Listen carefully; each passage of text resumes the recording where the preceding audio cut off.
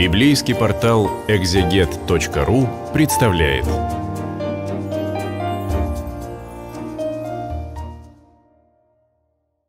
Э, Досточтимые э, братья и сестры, сегодня мы продолжаем наши беседы по Евангелию от Иоанна. И сегодня мы будем читать 12 э, главу этого Евангелия. И первая тема э, – Мария помазывает миром ноги Иисуса. За шесть дней до Пасхи пришел Иисус в Вифанию, где был Лазарь, умерший, которого Он воскресил из мертвых.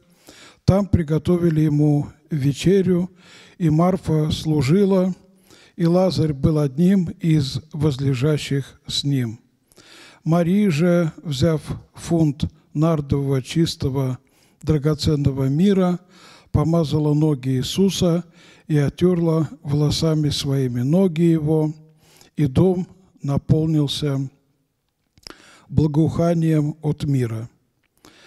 Тогда один из учеников его, Иуда Симонов Искариот, который хотел предать его, сказал, для чего бы не продать это мира за 300 динариев и не раздать нищим. Сказал же он это не потому, чтобы заботился о нищих, но потому, что был вор. Он имел при себе денежный ящик и носил, что туда опускали. Иисус же сказал, оставьте ее, она сберегла это на день погребения моего ибо нищих всегда имеете с собою, а меня не всегда. Я уже говорил вам, что святые отцы настаивают на том, что Мария, которая здесь помазывает ноги Иисуса Христа драгоценным миром, это не та Мария, которая совершила нечто подобное – но она была блудницей. Это именно сестра праведного Лазаря и сестра Марфы. Христос останавливался в Вифании именно у них, потому что они были его друзья. Но с другой стороны, а, истолкование как бы пытается обелить дом Лазаря. В действительности э, Христос не гнушался никаких людей.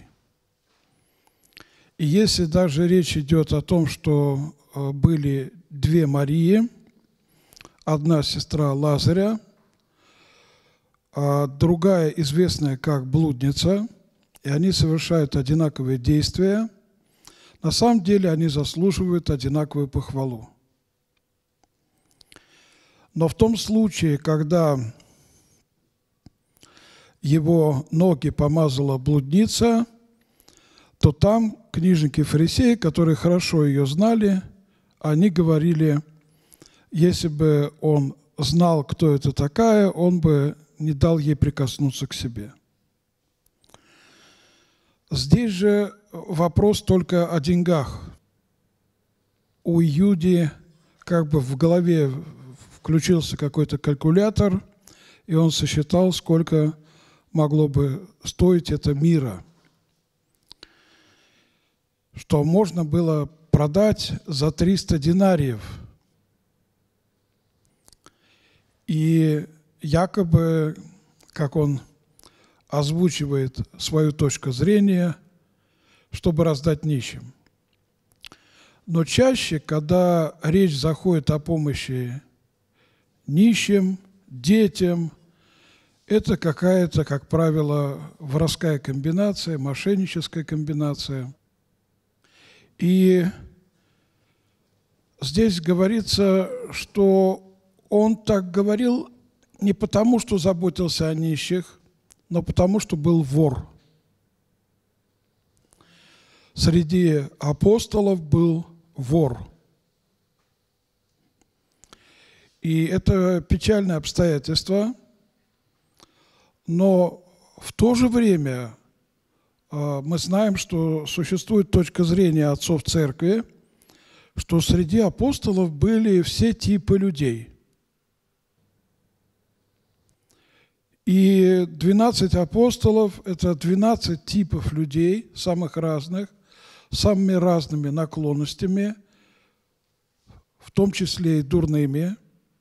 Симон Зелот у нас был скинхед, мы это помним – это были такие молодежные банды, зелоты, которые ловили иностранцев и избивали их. Здесь для нас важно то, что Господь Иисус доверял Иуде носить ящик для сбора цедаки, то есть милостыни. Этим самым Господь проявлял доверие этому человеку. И мы не можем сказать, что Господь Иисус чем-то обидел Иуду, каким-то недоверием. Он действительно заботился об исправлении этого человека, насколько это было только возможно. Иначе бы, э, зная его внутреннее состояние, он не поручил бы ему носить денежный ящик – куда пускали цедаку, то есть милостыню для общины Иисуса Христа. Как бы тогда сказали, и шивы Иисуса, то есть для его школы. И в современном Израиле очень часто можно увидеть э, людей, которые ходят с такими ящиками. Это ортодоксальные евреи. И они собирают э, по разным случаям а, деньги. Деньги собираются для погребения малоимущих, для выдачи замуж бедной девицы и для содержания Ишивы, школы. Община Иисуса Христа – это была такая странствующая Ишива, школа. И они переходили с места на место и учили народ. Иисус же сказал, оставьте ее, она сберегла это на день погребения моего. Ибо нищих всегда имеете собою, а меня не всегда. Что этими словами говорит Христос? Он как бы говорит, сейчас она помогает мне. Она приуготовляет меня к погребению. А это очень важно с точки зрения иудаизма, а, приготовить все как положено к погребению. А если вы действительно заботитесь о нищих, так э, посмотрите вокруг себя, и вы найдете э, мало имущих. Нищий имеется в виду не профессиональный нищий, потому что профессиональные нищие – это люди обеспеченные, а нищие, которые действительно нуждаются в чем-то. Такие люди очень редко просят милостыню. Они стыдятся просить. Но по их внешнему виду можно легко догадаться, что они в нужде. И каждой общине э, есть такие нуждающиеся, и мы должны поддерживать их и обращать на них внимание. Универсальность христианства, как я часто объясняю, заключается в том, что служа любому человеку, мы можем послужить самому Христу. И нищий – это самый лучший объект – нуждающийся человек, человек в беде – это самый лучший объект для нашего служения Христу. Ибо в день страшного суда Христос скажет, «Вы накормили меня, когда я был голоден, напоили, когда я жаждал, одели, когда я был наг, посетили, когда я был в больнице, болен, навестили, когда я был в тюрьме. И люди будут спрашивать, когда мы тебя видели в таком состоянии? И Христос говорит, сделавший это одному из малых сих, сделал это мне. Вот в этом универсальность христианства. Поэтому любой нищий, любой нуждающийся человек а, – это очень важный объект в деле нашего спасения. Потому что э, в день страшного суда не будет экзамена там по сравнительному богословию, по догматическому богословию, даже по нравственному богословию. Будет решаться один вопрос. Никакие каноны там не будут обсуждаться. Будет решаться один вопрос. Были ли мы милостивыми? Почему? Потому что суд без милости, не оказавшему милость, сказано в Писании. А если мы проявляли а, милостыню по отношению к нуждающимся, то в день суда, когда мы будем нуждаться в Божьем прощении, милость будет проявлена по отношению к нам. Господь позаботится о нашей вечной участи. Далее сообщается о том, что первосвященники замышляют убить Лазаря. И мы читаем – многие из иудеев узнали, что Он, то есть Христос, там, и пришли не только для Иисуса, но чтобы видеть и Лазаря, которого Он воскресил из мертвых. Первосвященники же положили убить и Лазаря, что значит и Лазаря. То есть до этого они решили убить Христа, а тут еще и Лазаря. Потому что ради него, ради чуда воскресения, четырехдневного покойника, многие из иудеев приходили и веровали в Иисуса. Чудо воскрешения Лазаря, оно было совершено совершенно открыто. Здесь Господь действовал как бы с открытием своего лика, как я вам часто объясняю. Бог действует в этом мире двояко – сокрытием своего лика, это чаще, когда мы распознаем действие Бога только через какие-то такие случайные обстоятельства, в потрясениях, там, в катаклизмах природы. А иногда Бог действует с открытием э, своего лика, когда явное чудо, и никто не может поспорить. И на другой день происходит вход Господень в Иерусалим. И множество людей собрались э, встречать Христа Иисуса именно потому, что все слышали о том, что был воскрешен недалеко от Иерусалима, в Вифании, четырехдневный покойник. И были свидетели его смерти, его погребения, причем самые разные люди. И как раз Иисуса-то не было, когда умер э, Лазарь. Значит, его обмывали, готовили к погребению обычные иудеи. И они же стали свидетелями чуда его воскресения. И Христос входит в Иерусалим. Зачем? Пасха, приближается еврейский Пейсах, и надо найти место поближе к храму, а, где бы встретить Пасху. Как вам объяснял, в иудаизме Пасха – это не общественное богослужение, это домашний праздник. Это вот как тайная вечерь проходила, вот это и есть э, еврейская Пасха. Надо было найти какое-то помещение – Поэтому надо было войти э, в Иерусалим заранее. И мы читаем с 12 стиха и ниже. «На другой день множество народа, пришедшего на праздник, услышав, что Иисус идет в Иерусалим, взяли пальмовые ветви, вышли навстречу Ему и восклицали «Асанна благословен грядущий во имя Господне царь Израилев. Его встречают э, с пальмовыми ветвями как Мессию.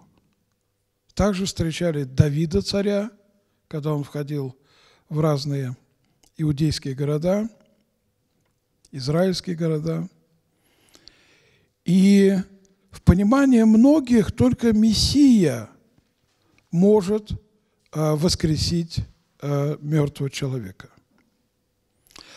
А то, что тогда как бы наступала мессианская эра, э, эра Христа, они все об этом думали. Когда Ирод узнал о том, что делает Христос, он сказал, наверное, это Иоанн Креститель, который воскрес из мертвых. Почему он так сказал? Потому что это витало в воздухе, что эра Мессии наступает, а, будут происходить воскресения мертвых, а, воскреснут все праведники прежде всего. Потому что в обычной ситуации никто так не скажет. Наверное, это вот воскрес такой-то человек. А, кто говорит о воскресении в обычной ситуации? А тогда исполнялись пророчества, и из Ветхого Завета евреи знали, что когда Мессия придет, он совершит много чудес, он будет воскрешать мертвых, он будет э, исцелять прокаженных, он будет творить э, множество чудес, исцелять хромых, слепых, глухих, немых. Об этом мы можем прочитать в том числе и у пророка Исаии если даже такой человек, э, как э, Ирод, э, пребывает в таком ожидании и верит в возможность воскресения, Иоанна Крестителя, конечно, он ошибочно веровал, а это свидетельствует о том, что тогда было именно такое время. И толпа людей встречает Христа как царя-мессию, но Мессия в их понимании – это военно-религиозный политический лидер, который должен возглавить еврейский народ, как царь Давид, царь-воин, и освободить их от э, римского владычества и принести им свободу от рабства языческого, покорить все языческие народы – и поставить евреев царями и священниками над э, всеми людьми.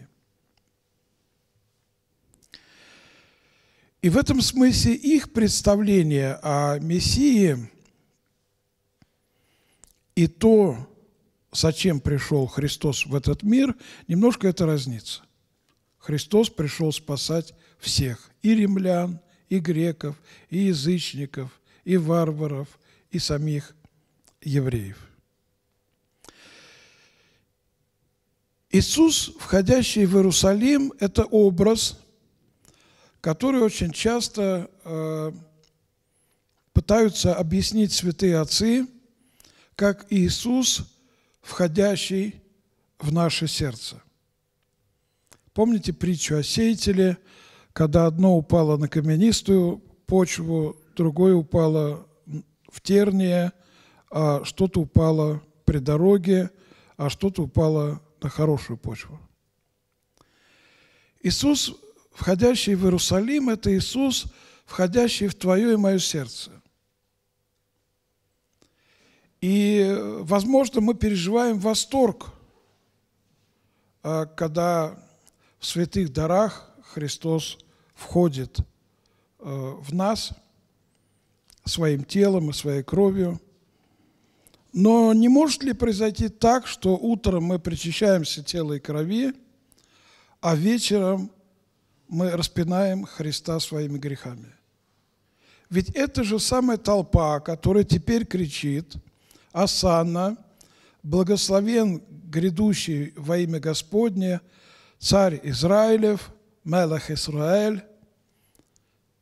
Через какое-то время она будет кричать, эта же толпа, распни, распни, распни его.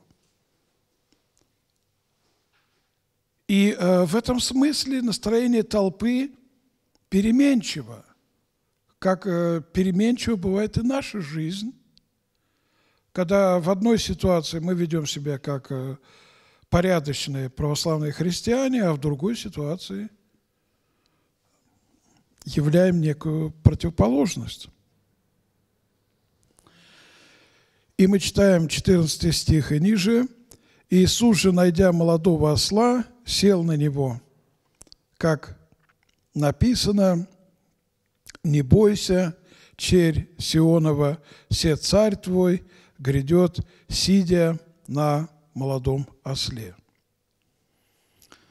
А другие евангелисты уточняют, что там была ослица и осленок. И Христос, который въезжает на осле в Иерусалим, это Христос, который укращает наше ослиное упрямство в привязанности к плотскому. И здесь ослица символизирует собою ветхозаветную церковь, а молодой осленок еще не объезженный. Это символ языческой церкви, которая возникнет из языческих народов и которая составит э, большинство – и которой принадлежим и мы, потому что славяне из язычников уверовали во Христа. И Христос э, силен укротить нашу ослинную привязанность к греху, к прежней жизни греховной. Осел у пророков Ветхого Завета – это символ похотливости прежде всего. И этот образ разыгрывается по отношению к египтянам, которые сравниваются со слами из-за своей похотливости. Но здесь Христос восседает на молодом осле. И исполняется пророчество из Захарии – из книги пророка Захария, 9 глава, 9 стих, где было сказано, «Не бойся, черь Сиона, се царь твой грядет, сидя на молодом осле». Ученики его сперва не поняли этого, но когда прославился Иисус – Тогда вспомнили, что так было о нем написано, вот эти слова из Захарии 9.9. Они сначала не поняли, что это происходит, но позже, когда он воскрес, они вспомнили эти слова. Почему воскресение Христова меняет учеников? Вот то, что Пятидесятница меняет учеников, это понятно. Дух Святой – научает и наставляет на всякую правду и напоминает все слова Христа Иисуса. А почему вот э, говорится в Писании, что когда Он воскрес, они вспомнили то-то, то-то, то-то. Как воскресение могло э, повлиять э, на э, их разумение Писания? Воскресение Христова это когда все пророчества как бы выстроились в один общий ряд. Это все равно, что перед вами какая-то мозаика, и вы не можете понять, что это такое. Но по одному куску мозаики вы догадываетесь, что это, и начинаете легко все собирать. И вот когда Христос э, воскрес из мертвых, то стало понятно буквально все. И особенно, когда Дух Святой в день Пятидесятницы сошел на них. Но тут написано, Ученики его сперва не поняли этого, но когда прославился Иисус, тогда вспомнили, что так было о нем написано, и это сделали ему. Иисус прославляется в чуде воскресения из мертвых. Он преодолевает смерть силой постасного божества. Он встает из гроба по воле Отца Небесного в Духе Святом.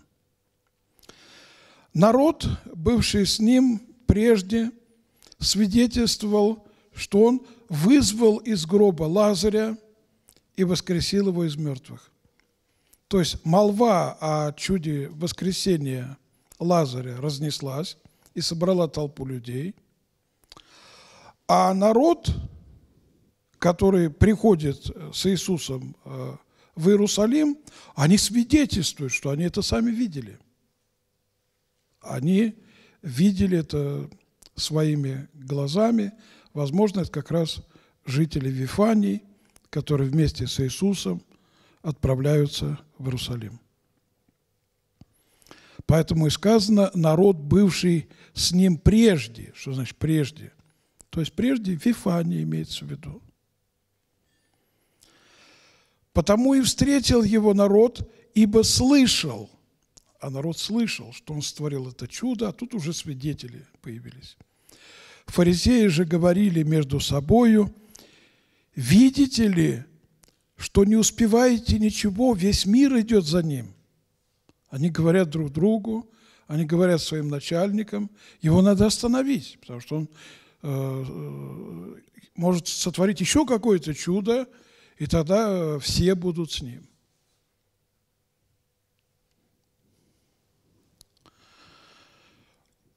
Состояние фарисеев – это паника. И давайте вспомним, э, когда пришли волхвы в Иерусалим, то царь Ирод и весь город пришел в смятение. Ну, с Иродом понятно, это Ирод Великий – он услышал, что родился царь иудейский. И Ирод, наверное, спросил, а я кто? Я что, не царь иудейский? А почему весь Иерусалим пришел в движение вместе с Иродом? Люди боятся приближения Бога. И люди алчут и жаждут приближения Бога одновременно. Мы молимся Богу утром, молимся вечером, мы просим Его о чем-то. Как один священник рассказывал мне, он молился, и вдруг он ощутил, как кто-то нежно сжал его сердце. И он закричал, не надо, Господи! И это пропало. Осталась теплота – а он молился, Господи, я уже устал от этой жизни. И Господь так нежно-нежно вот сжал его сердце. И он оказался не готов. Мир всегда боится приближения Бога. И страх смерти на самом деле это э, бессознательное чувство – обнаженности перед Богом. Ведь когда мы предстанем перед Ним, все наше сокровенное будет открыто. Мы не готовы к этой встрече. Мы хотим и не хотим этой встречи. Вот это такая сложность психологическая, трудно объяснить. Но здесь праздник, здесь шоу появился человек, которого кто-то считает мессией, кто-то не считает его мессией. Но это так интересно, говорят, он воскресил четырехдневного покойника. И здесь мы видим, что эллины, то есть греки, хотят видеть Иисуса. Это удивительный отрывок, потому что именно эллины массово примут христианство. А, именно из эллинов из греческого мира выйдет огромное количество святых отцов, слава святого Афона, древние патриархаты, все это произойдет от них. И мы читаем, из пришедших на поклонение в праздник были некоторые эллины. Эллин – это широкое понятие. Э, если Рим э, политически, э, военным путем захватил власть в тогдашнем мире, то эллины культурно, греки, эллинизировали мир, сделали похожим на свой греческий мир, свой греческий полис. Поэтому э, даже египтяне, э, многие э, жили так, как жили греки. То есть это было культурное влияние, поэтому эллины первоначально это, конечно, греки, но в контексте вот этих событий имеется в виду вообще все люди, захваченные этой культурой, очарованные философией, там Платона, Аристотеля – и среди эллинов э, были прозелиты. Прозелиты – это те, которые принимали иудаизм. Мы знаем, что такие были э, в Риме. Э, историк Тацит описывает, что они жили за Тибром в Риме, там целое поселение было. Вместе с евреями они жили. Такие были в Александрии – из пришедших на поклонение в праздник были некоторые эллины. Они подошли к Филиппу, к апостолу Филиппу, который был из э, Вифсаиды Галилейской, и просили его, говоря, «Господин, нам хочется видеть Иисуса». Как здесь не вспомнить э, слова Иустина мученика Юстина Философа, который говорил, как закон был детоводителем ко Христу, так и греческая философия была детоводителем ко Христу. И вот эти люди эллинского мира, когда они э, говорят, нам хочется видеть Иисуса, это как бы первое движение этой нации, этой культуры – навстречу ко Христу. Филипп идет и говорит о том Андрею, и потом Андрей и Филипп сказывают о том Иисусу. И вот реакция Иисуса Христа очень интересная. Иисус же сказал им в ответ, пришел час прославиться Сыну Человеческому. Вот в этих словах есть э, некая двойственность. С одной стороны, да, он говорит о часе э, своего страдания и смерти. Но он говорит в контексте того, что эллины хотят видеть его. То есть чудо креста станет чудом обращения эллинского мира в Христову веру они примут Евангелие. Но самое интересное, что Евангелия будут написаны, все послания будут написаны на эллинском языке. Не на еврейском языке. По преданию только Евангелие от Матфея, возможно, было написано на еврейском языке, а скорее всего на арамейском. Тогда арамейский называли сирийским языком – и у пророков великих в Ветхом Завете есть слова, что Бог даст знамение всем народам, знак всем народам. Это знак креста, перед которым преклонится вся Римская империя. Итак, Христос говорит в ответ, здесь сказано в ответ – пришел час прославиться Сыну Человеческому. Истинно, истинно говорю вам, если пшеничное зерно, пав в землю, не умрет, то останется одно. а если умрет, то принесет много плода.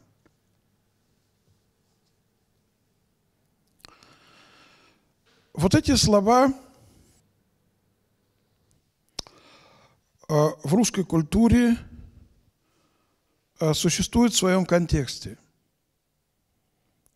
Известно, что когда Федор Михайлович Достоевский умирал, он попросил свою жену открыть Евангелие. Евангелие Достоевскому э, подарила, насколько я помню, жена какого-то декабриста, когда он э, сидел в Сибири, в тюрьме. И умирающему Достоевскому его жена прочитала вот эти слова. «Истина, истина, говорю вам, если пшеничное зерно, пав в землю, не умрет, то останется одно, а если умрет, то принесет много плода». И эти слова стали утешением для православного писателя в день его кончины. Но в каком контексте эти слова произносит Христос? Он должен умереть за грехи мира. Он действительно пшеничное зерно. Ведь он родился где? В Вифлееме. Вифлеем, Бейт-Лехем, дом хлеба. И святые отцы говорят, в Вифлееме родился колос, который евхаристически напитал в причастии всю Вселенную.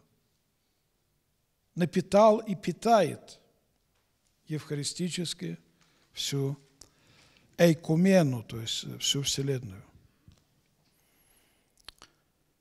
Христос настаивал на своей э, смерти даже тогда, когда апостолы отговаривали его. Мы знаем, что апостол Петр отговаривал его, на что Христос отвечал, я для этого и пришел. И далее он произносит слова, полные глубокого мистического смысла любящий душу свою погубит ее, а ненавидящий душу свою в мире всем сохранит ее в жизнь вечную. О чем это? Тот, кто любит свою душу, душа – это жизнь,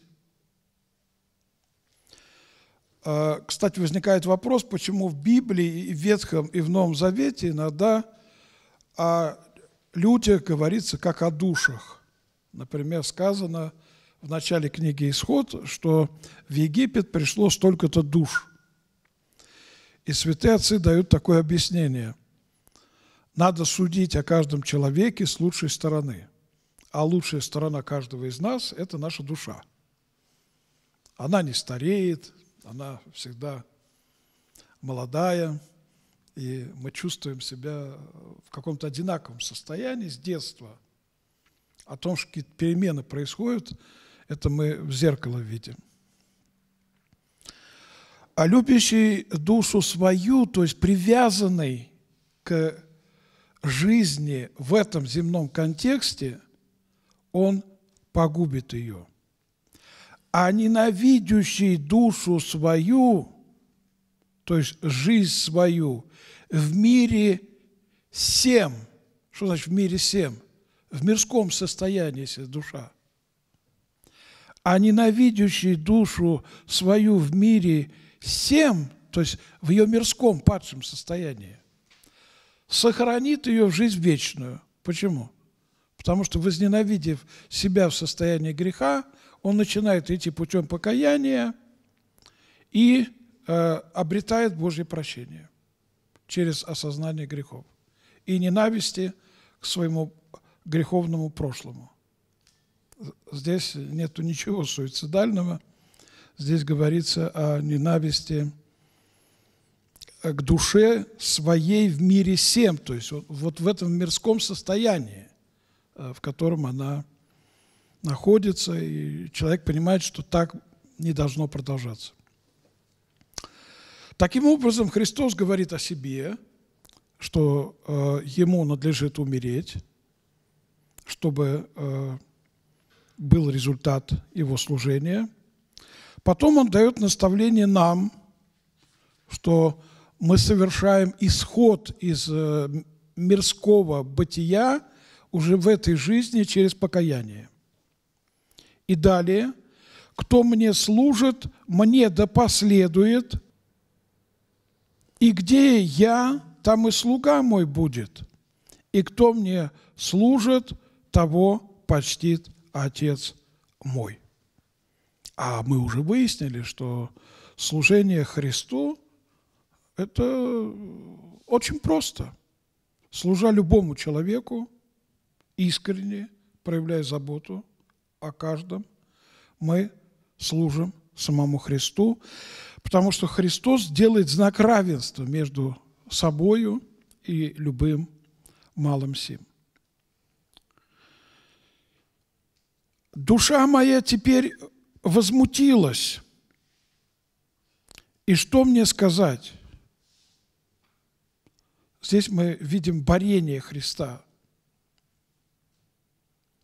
Он человек, он настоящий человек. И если человек испытывает э, панику перед лицом э, смерти, э, страданий, но при этом идет на смерть и страдание, это еще больше подвиг. А другое дело, когда человек безрассудно, не думая ни о чем, идет и погибает. Душа моя теперь возмутилась, и что мне сказать? Отче, избавь меня от часа всего. Не надо думать, что события прям происходили вот в таком порядке, как мы читаем в этом Евангелии. Потому что в контексте э, других фрагментов, э, из других Евангелий, мы эти слова относим чаще к Гефсимании. Но он мог испытывать это борение и до Гефсимании. Душа моя теперь возмутилась, и что мне сказать? Отче, избавь меня от часа сего. Но на сей час я и пришел. Вот это внутреннее противоречие между чувством страха и чувством долга. Отче, прославь имя Твое. Тогда пришел с неба глаз то есть глаз э, Бога Отца. И прославил, и еще прославлю. А некоторые экзегеты говорят, что прославил на фаворе, когда показал э, преображенного Христа. Некоторые экзегеты говорят, прославил через евангельское учение – Люди поражались, когда он учил, и говорили, он учит не так, как книжники и фарисеи. Он учил силой, он учил в духе. И прославил, и еще прославлю. Народ, стоявший и слышавший то, говорил, это гром. Такой громкий был голос. А другие говорили – ангел говорил ему. А почему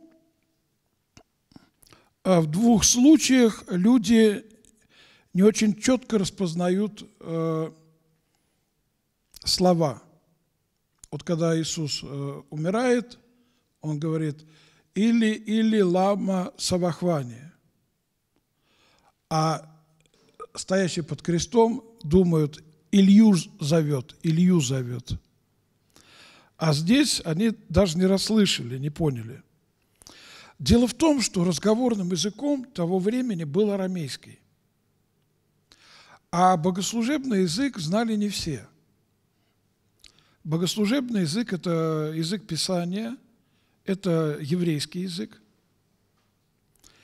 И этим можно объяснить, э, что не всегда люди могли разобрать э, слова, особенно когда они испытывали ужас, им казалось, что это какой-то гром. И они предполагают, что это ангел говорил ему. Свидетельство от ангела э, считалось в иудаизме Э, второй уровень э, пророческого слова, вот через ангела. А более низкий уровень пророческого слова – это слова, сказанные во сне. Там ангел является во сне, или человек слышит что-то во сне.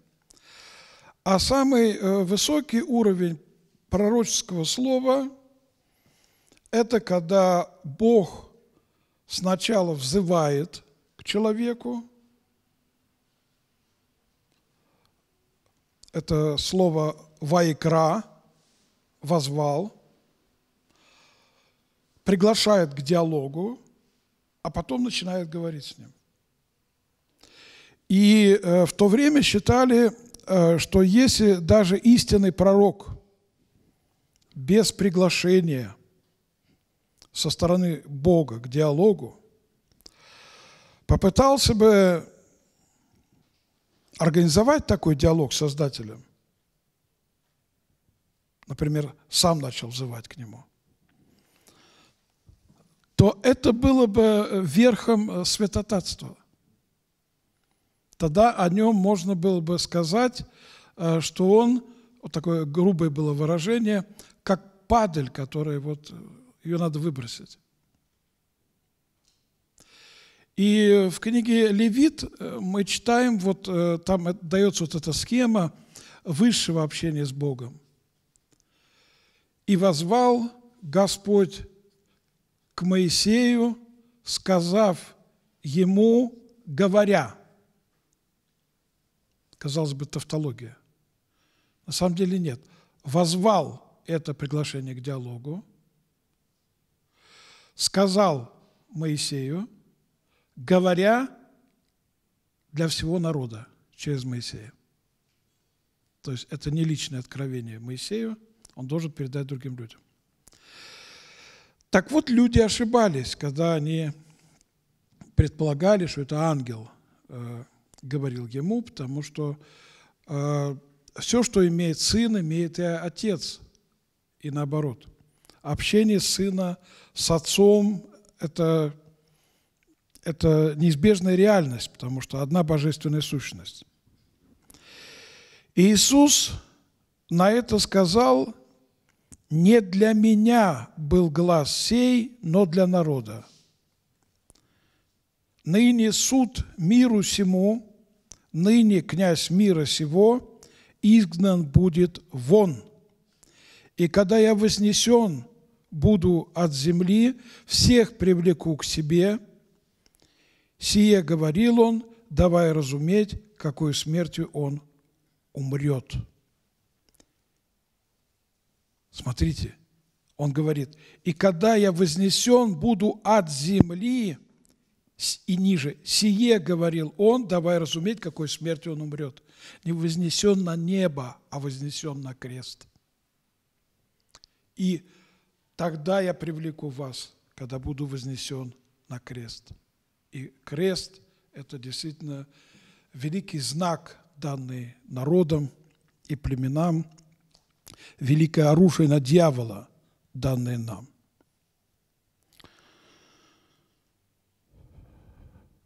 Сие говорил он, давая разуметь, какой смертью он умрет.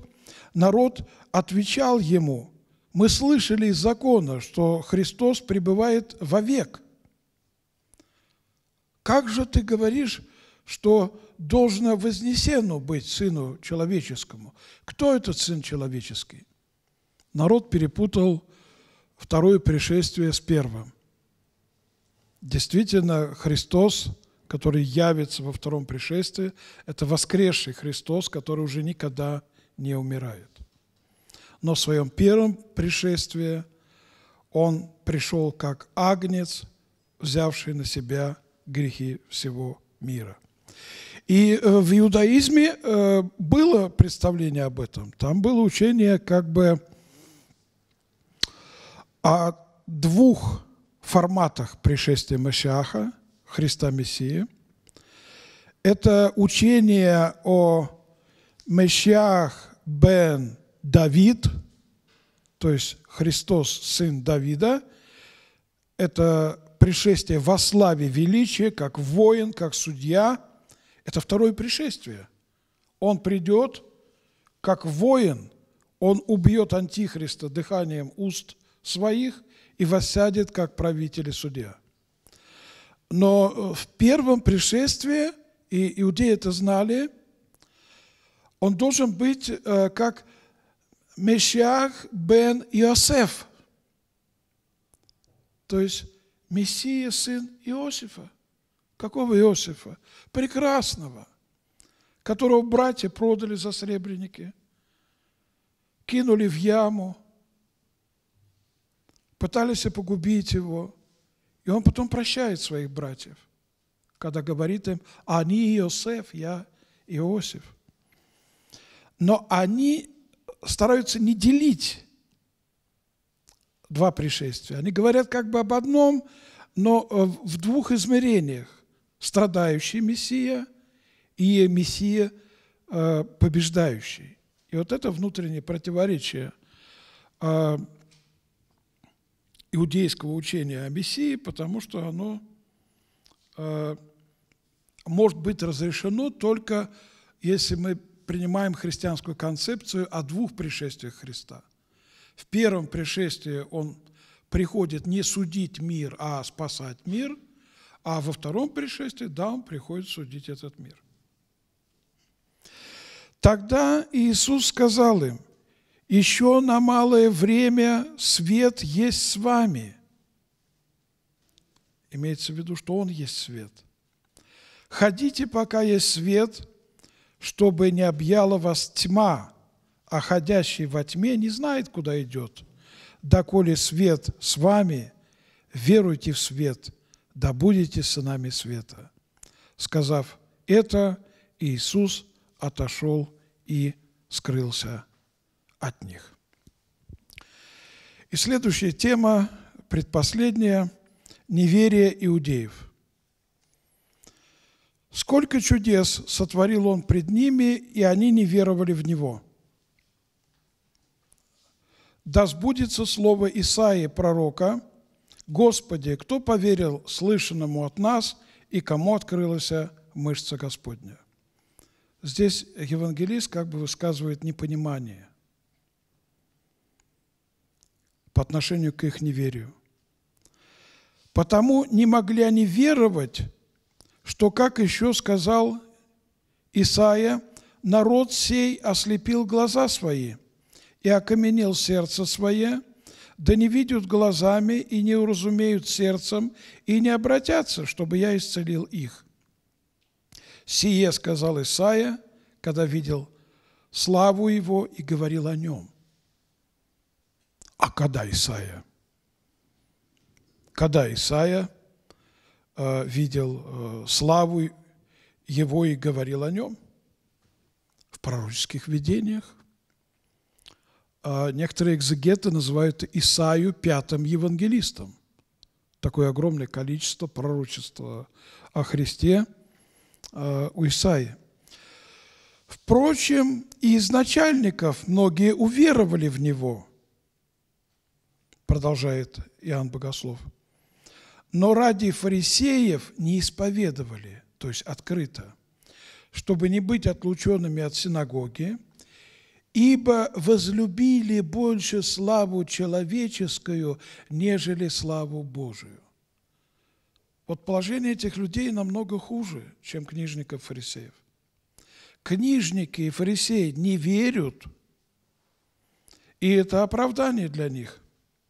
А эти поверили, убедились, но ради своих должностей они скрывают от всех, что они все-таки понимают, кто он такой на самом деле. Хотя позже апостол Павел будет проповедовать начальники ваши по неведению распяли его. И сам Христос будет молиться э, с креста, «Отче, прости им, они сами не знают, что они делают». И последняя тема – верующие в Меня, не в Меня веруют, но в пославшего Меня. Иисус же возгласил и сказал, верующий в Меня не в Меня верует, но в пославшего Меня. И видевший Меня видит пославшего Меня. Я свет, пришел в мир, чтобы всякий верующий в Меня не оставался во тьме. И если кто услышит мои слова и не поверит, я не сужу его, ибо я пришел не судить мир, но спасти мир. Имеется в виду в первом пришествии. Отвергающий меня и не принимающий слов моих имеет судьей себе слово, которое я говорил. Оно будет судить его в последний день. То есть суд будет при втором пришествии ибо я говорил не от себя, но пославший меня Отец, Он дал мне заповедь, что сказать и что говорить. И я знаю, что заповедь Его и жизнь вечная. Итак, что я говорю, говорю, как сказал мне Отец. Действительно, Христос часто говорит, что Он пришел не во имя Свое, во имя Отца – и здесь он со всей откровенностью заявляет, что он говорит то, что сказал ему Отец. Он есть образ Бога невидимого, как сказано в Писании. Августин Блаженный пишет, «Что же слышали мы, братья, когда Господь сказал, верующий в Меня не в Меня верует, но в пославшего Меня. Благо для нас верить в Христа. Особенно потому, что и сам Он ясно сказал то, что только что слышали, то есть, что Он, свет, пришел в мир, что верующий в Него не останется во тьме, но будет иметь свет жизни. Итак, благо верить в Христа – великое благо верить в Христа и великое зло в Христа не верить. Но поскольку Христос Сын есть то, что Он есть от Отца, а Отец не от Сына, но Отец Сына, то потому Сын призывает к вере в себя, но воздает честь Творцу. Нечто подобное пишут и Амвросий Медиаланский, это его пять книг о вере. «Тот верует в Сына, кто исповедует Отца. Ибо кто не знает Сына, не ведует и Отца. Кто отвергает Сына, не имеет и Отца. Кто исповедует Сына, имеет и Сына, и Отца. А что значит «не в Меня верует», не в то говорит, что вы воспринимаете телесно, не в человека, которого вы видите. В нем некоторые видели только человека. Ведь он сказал, что не в человека должно верить, а в то, что Иисус Христос сам есть и Бог, и человек. Вот потому об одном и о другом он говорит, я пришел не сам от себя и еще от начала сущий, как говорю вам. Итак, сегодня мы окончили изучение 12 главы. Если будем живы, Господь позволит, то в следующий раз мы будем изучать 13 э, главу Евангелия от Иоанна. Спаси Христос!